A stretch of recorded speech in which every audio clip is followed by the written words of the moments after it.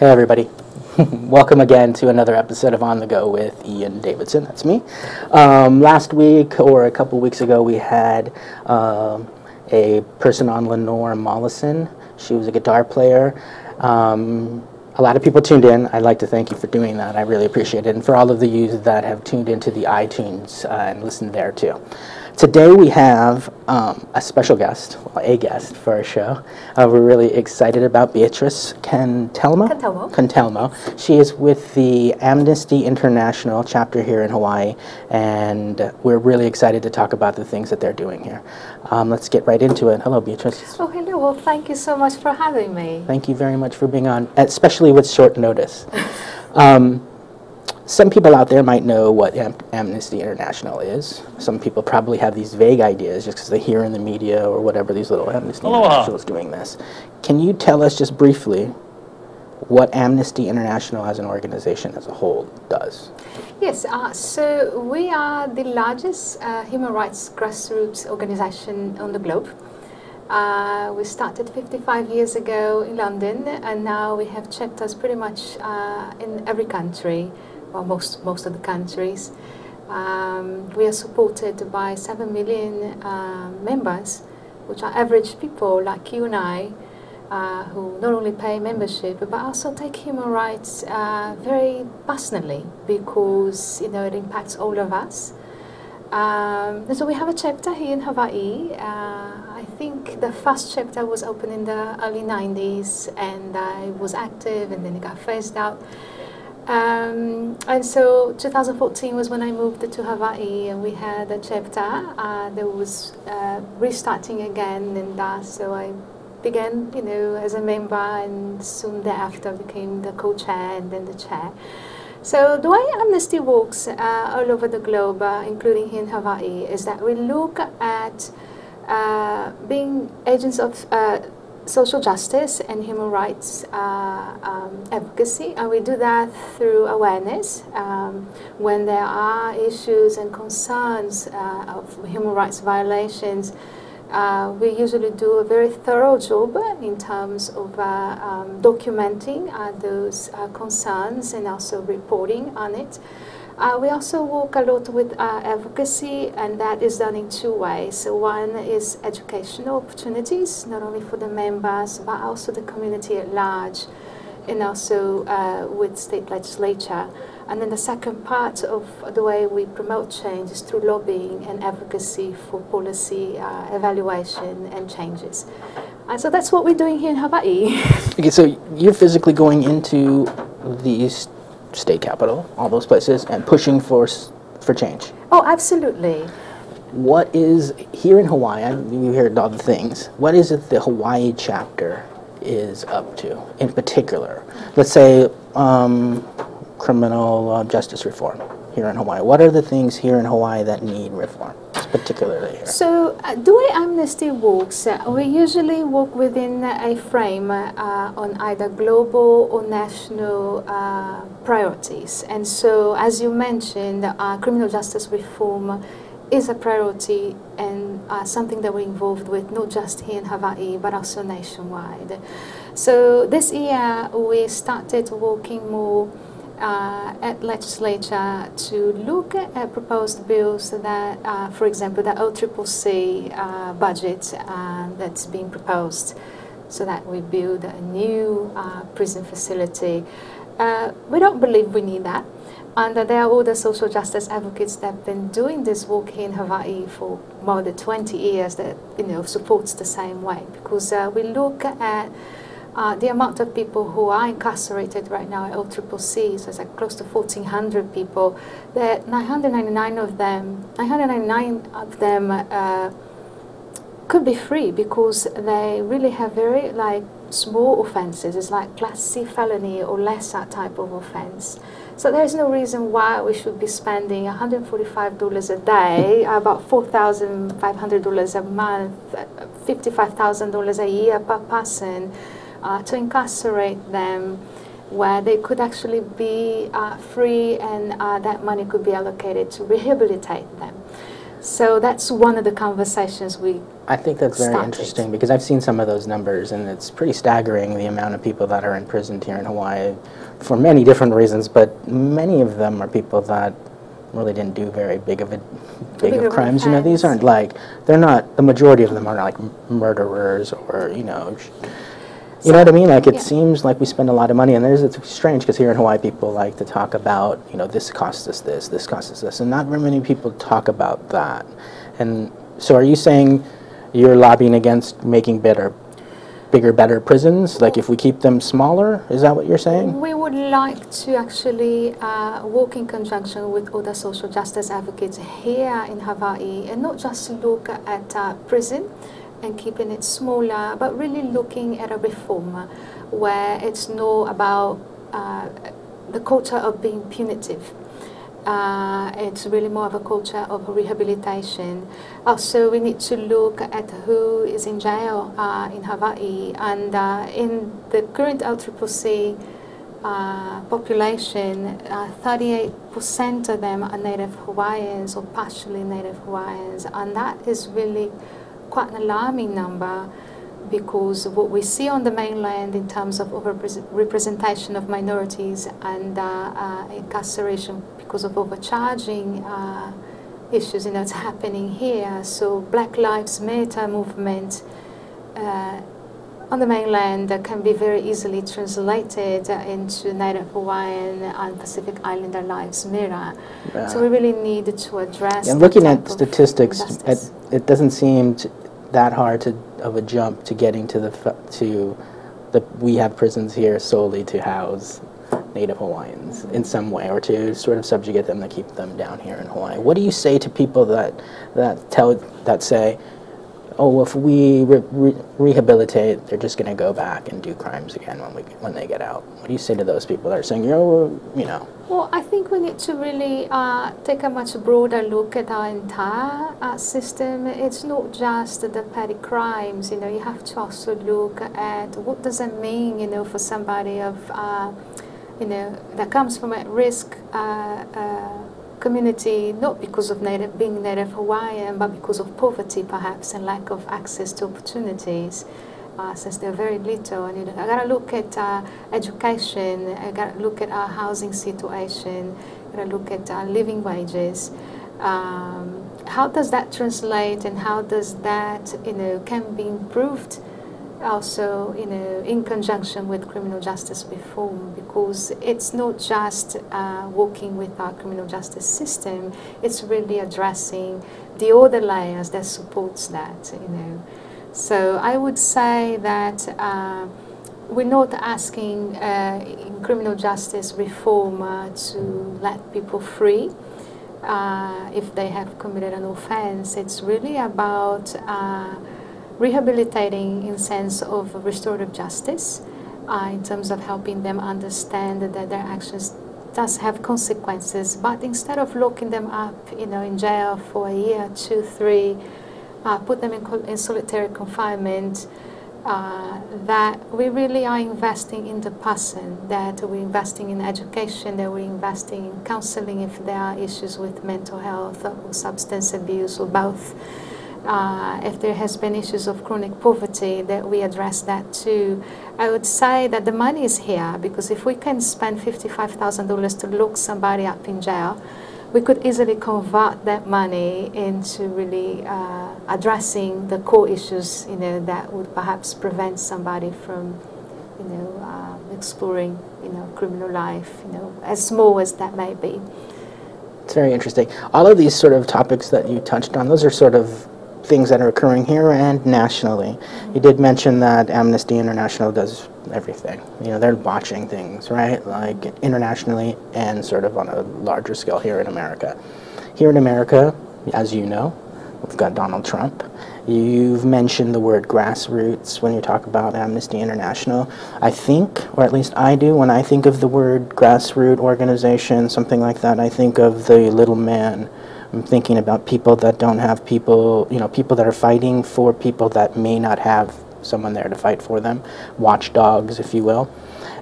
Right now, like in America, I think people are afraid of the things that Donald Trump and the administration might do to those people because traditionally, and you know, their views, Republican views are, who cares about the little man? Ultimately, they'll figure it out themselves.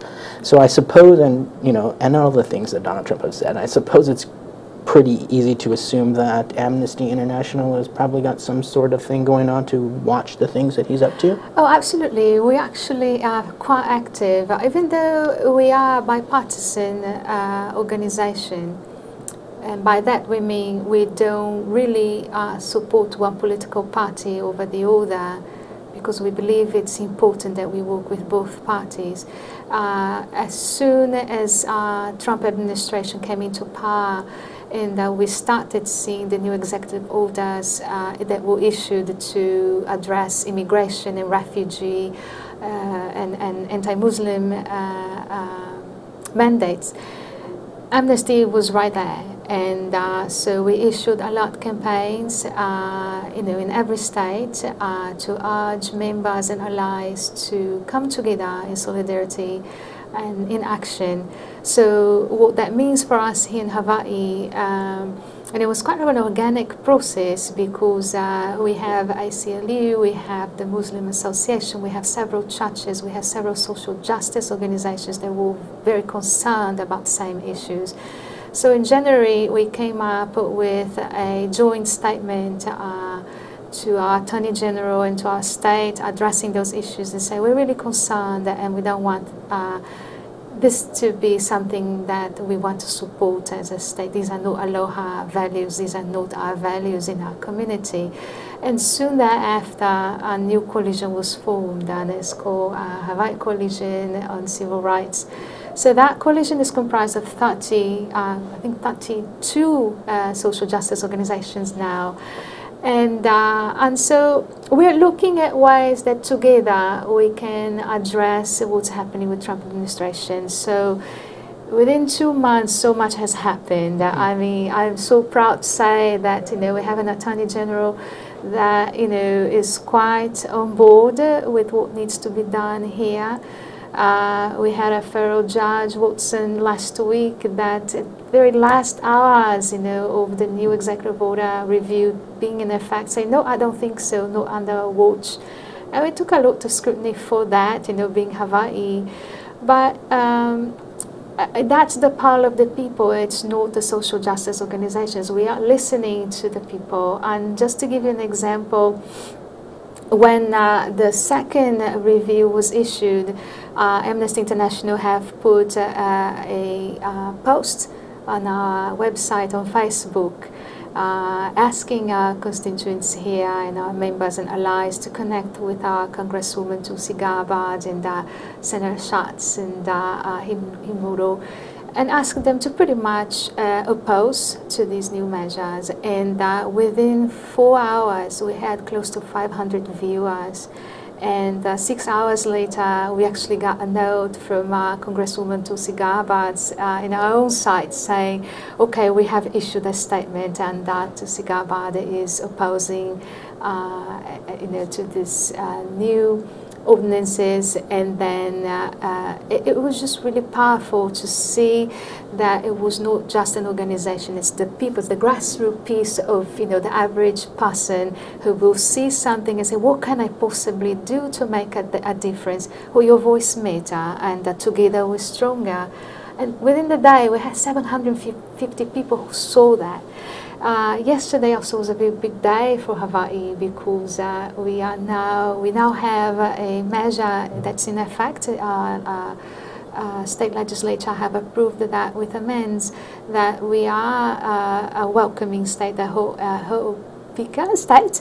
I'm, I'm, sorry if I have mispronounced it. My Hawaii language is not that good. But what that means is that not only we are, uh, you know, reassuring not only members of our community, uh, you know, who are Native Hawaiians that come from all over the globe, uh, whether they're here as residents or visiting, that we are a safe state. But also, this uh, measure addressed something very important, which has to do with federal immigration laws under the new Trump administration, uh, there is one segment of immigration law uh, that would allow for uh, local police uh, to be deputized and work with ICE and do the job uh, of you know, immigration, uh, police, and the state of Hawaii said, no, we don't want to do that. Not only we cannot afford fiscally, but it would be something very unfair uh, to those who are here for several reasons. But you know, it's very important that as, as a state, you know, we were able to make uh, a verbal commitment in writing, in our laws, in our bylaws, saying that we protect and we respect and we honor everybody who is here, regardless of their immigration status. And that this uh, measure also allows for um, people who may commit a crime to, you know, also be uh, accountable for it, but without targeting them, without the racial profiling that our current uh, government administration at the federal level is trying to push.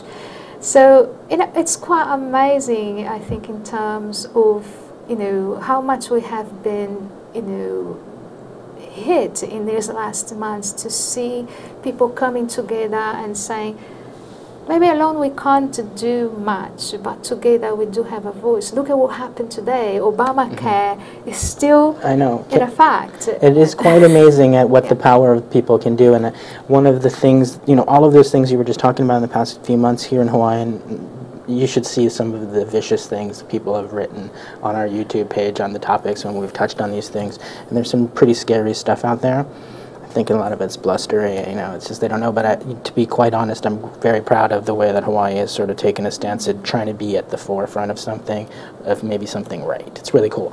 Sure. We got to take a break. Okay. Please stand by. We're going to talk about uh, consensual sex workers and some stuff that's going on in Okinawa. Uh, this is on the go. I have uh, Beatriz Ken Kalmala from Amnesty International Hawaii chapter here. Uh, we'll be right back after this message. Aloha. My name is Josh Green. I serve as senator from the Big Island on the Kona side, and I'm also an emergency room physician. My program here on Think Tech is called Healthcare in Hawaii. I'll have guests that should be interesting to you twice a month. We'll talk about issues that range from mental health care to drug addiction to our healthcare system and any challenges that we face here in Hawaii. We hope you'll join us. Again, thanks for supporting ThinkTech. Thanks for watching ThinkTech Hawaii and look forward to seeing you at Education Matters on Tuesdays with me, Carol Monley. Hi, my name is Seymour Kazimirski. I have a show called Seymour's World on ThinkTech Hawaii. Our show is about opening minds and facilitating conversations. To tell you the truth, I have no idea what we're going to be talking about. I have no idea who our guests are going to be, but I guarantee you we're going to have lots and lots of fun. Aloha from Seymour's World. We're back to On the Go. I'm Ian Davidson, the host. We were just talking about some of the stuff that's gone on in um, healthcare today. The sort of basically the announcement that Obamacare is, land, is law of the land. I thought that was really cool. Did you see that? I think that yes. that's really cool. You know, basically everything that people have fought for, and I'm sure you fought for. Um, it's a big one. Change is coming. Excited about that. We were just talking about some of the things that internationally, or Internet, Amnesty International takes care of. Sorry about that. Sure. Um, there's a few things that I'm interested in that we've talked about. Let's talk about consensual sex worker here, and particularly in Hawaii. Before you get into that, I find it quite interesting that culturally we're now talking about this kind of stuff. Like it's it's something, it's a change I think is kind of good. Just I, I mean I know that it's a the the idea is pretty hard fought. Both sides kind of have ideas on this topic. But I wanted to point out that I think it's quite interesting that culturally people can now talk about consensual sex work without getting all crazy. In the uh, most recent Hawaii Business Magazine, there was a whole article about professional cuddlers. And I know that that is, is sort of the same sort of sort of thing, people paying for an emotional connection or something like that. Maybe you can set me straight on this. But I thought it was interesting that in a mainstream magazine, they're talking about sex work in a way that isn't bad or isn't criminal. Tell me about what consensual adult sex work is.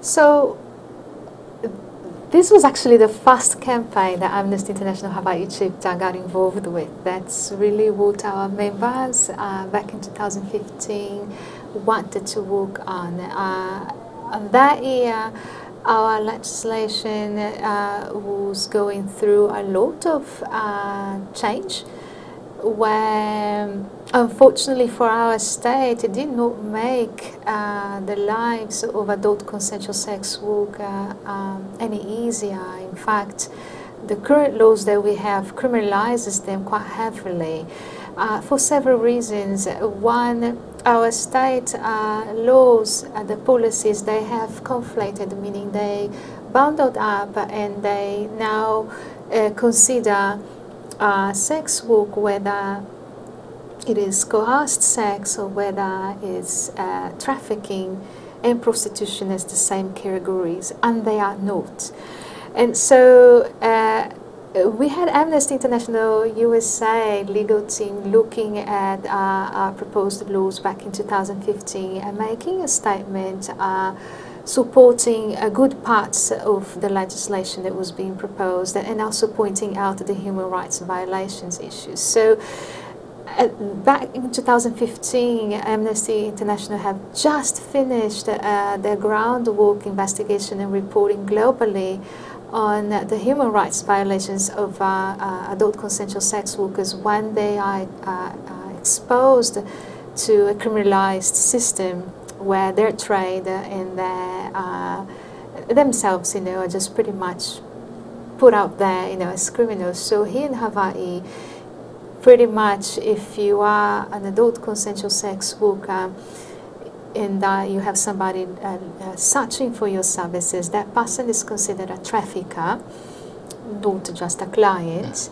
Uh, and the person who is providing the sex work, uh, they have two choices if they get arrested. Either they say, yes, I was doing adult consensual sex work, and then they get charged with being, you know, a trafficker as well.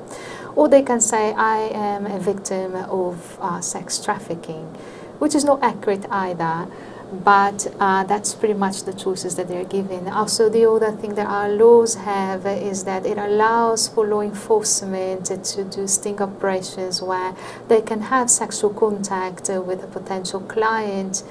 Uh, sex worker, you know, posing it to be a client, arrest them afterwards, and be completely exempt from any uh, consequence, and because they were on the line of duty. And that is like, as bad as like what some of the laws that are happening, you know, in China. So that's where we're at. So to answer your question, uh, really by the United Nations uh, definition of, of uh, trafficking, adult consensual sex work is not considered uh, trafficking and it's not considered coerced sex. So in order to be considered adult consensual sex work, it has to be uh, sexual arrangement between a, a, consenting adults. They have to be over the age of 18. And uh, it has to be of their own will. And, uh, and whatever happens between them, it's really their business. So it is a business transaction. Um, and, uh, you know, unfortunately, it, there is a lot of issues with that too in our society because we talk about it, but not really. Sex right. is a big taboo. A there's the religious one. aspect of it. There's the shame and the stigma attached to it as well. It's a tricky one. I found it quite interesting. Consensual, you know, people probably first think prostitutes. That's not really not. You're not just necessarily a prostitute because you choose to do this. This is the other business. I think.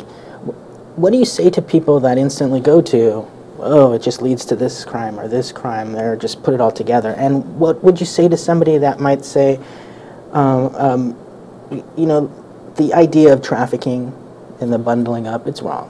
Sure.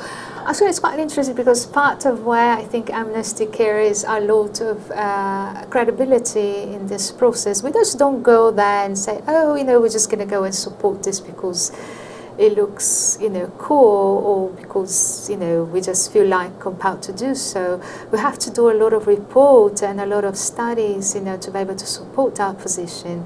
Uh, so the largest organization that supports uh, anti-trafficking uh, uh education and advocacy on the globe, which is the Global Alliance uh, Women Against Trafficking, and they serve over 90 countries.